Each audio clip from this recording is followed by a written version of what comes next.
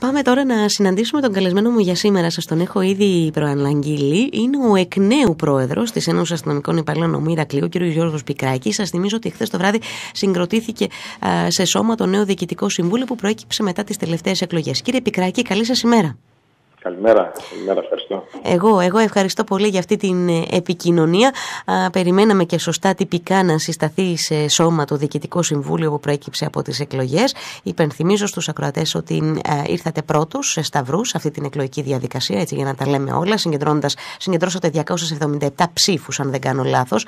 Θέλω ναι. λίγο να περάσουμε, κύριε Πικράκη, θέλω να, να σας ρωτήσω μάλλον αν αυτό αν αυτές οι εκλογές και το νέο Διοικητικό Συμβούλιο που προέκυψε χθες, αν σηματοδοτεί το πέρασμα σε μια καινούρια εποχή για την Ένωση Αστυνομικών Υπαλλήλων Νόμου Ηρακλείου και αν αφήνετε πίσω και πώς θα τα αφήσετε πίσω τα όσα έχουν δει το φως της δημοσιότητας και τα όσα έχουν γίνει το προηγούμενο διάστημα. Και μιλώ για αυτές τις καταγγελίες, για την υπεξαιρέση χρημάτων και ούτω καθεξής.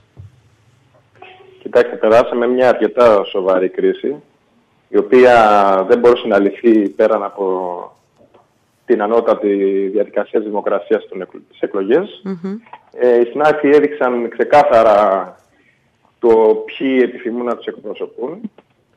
Ε, εμείς λάβαμε μια ισχυρή πλειοψηφία την οποία θα τη χρησιμοποιήσουμε για το καλό του σωματείου, όχι για ιδίων mm-hmm. Ε, Χθες στο ΔΣ που κάναμε, καλέσαμε και τα άλλα τρία παιδιά να συνταχθούν μαζί μας να βοηθήσουν να αφήσουμε πίσω όλες τις αντιπαραθέσεις, mm-hmm. διότι δεν αντιπροσωπεύουν ένα σώμα εστόλων το οποίο έχει θρυνήσει θύματα και νεκρούς και τραυματίες και δεν είναι ωραίο και για την κοινωνία να βλέπει κάποιους αστυνομικούς να είναι στα δικαστήρια. Ναι, δεν είναι ωραίο. Η ούτε εμένα προσωπικά, ούτε ναι. προσωπικά με εκφράζει αυτό. Mm-hmm.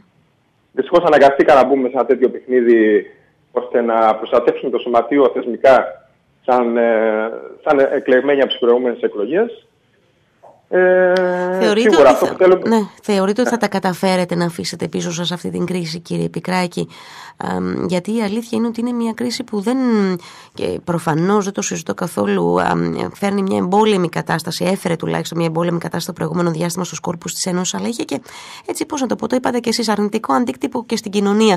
Δηλαδή το να, βλέπουν, ε, να βλέπει ο κόσμος του Ηρακλείου τους αστυνομικούς της Ένωσης να, να μαλώνουν, να πηγαίνουν στα δικαστήρια ναι, είναι πολύ έτσι, είναι πάρα, μια πάρα πολύ άσχημη εικόνα. Άρα λοιπόν θα εισακουστείτε πιστεύετε σε αυτή την πρόσκληση να αφήσετε πίσω σας αυτή την κρίση; Ε, και εγώ να μην εισακουστώ στη δική μου θέληση, οφείλω να, να, να, να ακούσουν τη θέληση των συναδέλφων, οι οποίοι επέλεξαν και ήρθαν σε... Είχαμε την πιο μαζική συμμετοχή σε ψηφοφορία από την, από την ίδρυση του σωματείου μας. Mm-hmm. Ψηφίσανε 527 μέλη από τα 600. Είχαμε πάρα πολύ μεγάλη συμμετοχή στι εκλογές μας mm-hmm. και δώσαν ένα ξεκάθαρο μήνυμα. Το μήνυμα δεν είναι ότι επιλέξαμε τους μένα από τους δε. Το μήνυμα είναι ότι ο ΣΕΝΑΠΟ θέλει σταθερότητα, θέλει κάποιους να τους εκπροσωπούν με μια σοβαρότητα και μια, σταθε... και μια σταθερότητα και μια αξιοπιστία. Mm-hmm.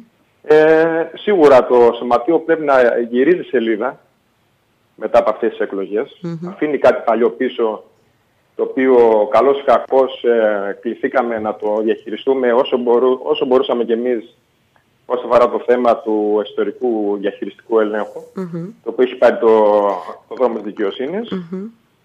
Ε, ευτυχώς ε, όλα τα παιδιά που είναι στο ΔΣ αυτό είναι νέα παιδιά, δεν ε, συμμετείχαν σε παλιότερα συμβούλια τα οποία ήταν και ελεγχόμενα, το οποίο είναι πολύ σημαντικό. Γενικά, ε, των νεαρών της ηλικίας βοηθάει και εσείς είστε ένας νέος άνθρωπος, η αλήθεια είναι και σίγουρα είναι καλό να βγαίνουν μπροστά νέοι άνθρωποι στις ενώσεις, στα σωματεία, στα συνδικάτα. Δεν το συζητώ καθόλου. Καλό είναι να υπάρχουν και οι έμπειροι. Προφανώς. Είναι ένα μείγμα νέων και παλιών συναδέλφων. Καλό είναι αυτό το μείγμα να είναι Mm-hmm. Ε, να συνδέσει το παλιό με το καινούργιο. Mm-hmm.